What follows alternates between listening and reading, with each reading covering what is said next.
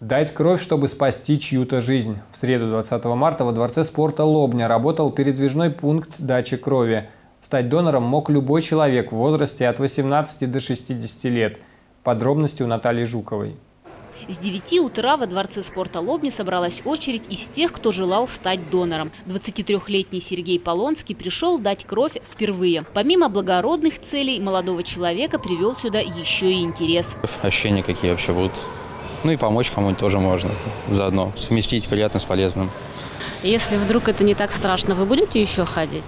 Наверное, да. Потенциальным донорам сначала необходимо заполнить анкету и ответить на ряд стандартных вопросов о наличии и отсутствии заболеваний. После регистрации осмотр проводит врач-трансфузиолог. Он проверяет давление и общее состояние здоровья. Чаем и печеньем будущие доноры подкрепляют силы. Затем сдают общий анализ крови для определения ее группы резус-фактора.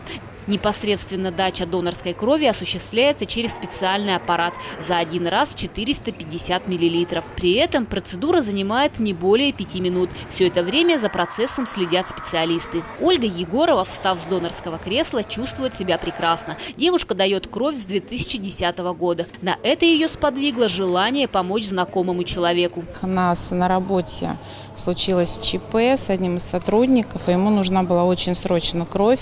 И вот нас всех собрали, привезли, и мы сдавали. То есть это был такой шаг в спасении жизни. Давшим кровь положена денежная компенсация на обед, а еще двухдневный отпуск для восстановления сил. Почетными донорами могут стать люди, безвозмездно давшие кровь в более 40 раз. Глава городского округа Лобня Евгений Смышляев половину пути к этому званию уже преодолел, хотя признается, что целенаправленно к этому не стремится. Главное – это донорство. Я думаю, что все доноры выполняют и важную социальную функцию. Вообще, мне кажется, почетные доноры – это люди, кто вызывает уважение, поэтому я думаю, что это будет достаточно неплохо.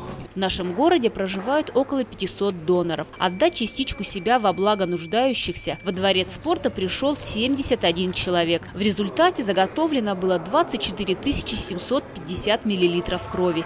Теперь ее передадут в родильные, хирургические отделения и онкологический областной центр. Наталья Жукова, Алексей Орлов, Михаил Жуков, телекомпания «Лобня».